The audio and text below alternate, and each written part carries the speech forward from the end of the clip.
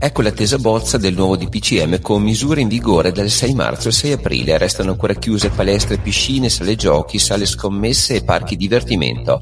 Dopo le 18 sempre chiusi bar e ristoranti. Tra le altre misure pre- previste la chiusura degli impianti sciistici, oltre che i barbieri e i parrucchieri nei territori in zona rossa. La didattica delle scuole superiori sarà almeno al 50% in presenza, per il resto didattica a distanza. In tutta Italia rimane il coprifuoco dalle 22 alle 5.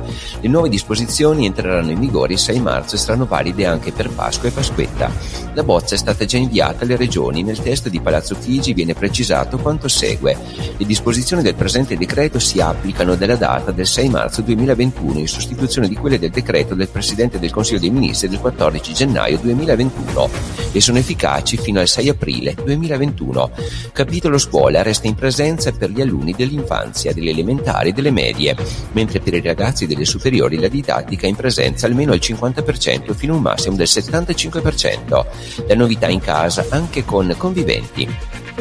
Cancellata la norma citata nel precedente documento secondo cui con riguardo alle abitazioni private è fortemente raccomandato di non ricevere persone diverse dai conviventi, salvo che per esigenze lavorative o situazioni di necessità ed urgenza.